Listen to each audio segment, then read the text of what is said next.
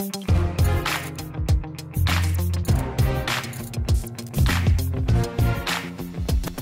I'm Rob Manson from New England Ropes. Uh, I just wanted to show today our Platinum technology rope. We actually weave the sheath and the core together every 60 centimeters in the rope, uh, creating a permanent connection between the sheath and the core. It's not a glue, it's not a tape, it'll never wear away.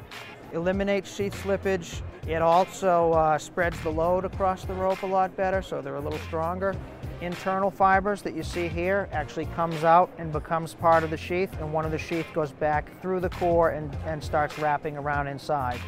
Right now we have them only available in statics. We're working on dynamics, so uh, bolting, route setting, big wall climbing, things like that. This would be great for, we have them in uh, 9 mil, 10.5, 11.5, 12.5.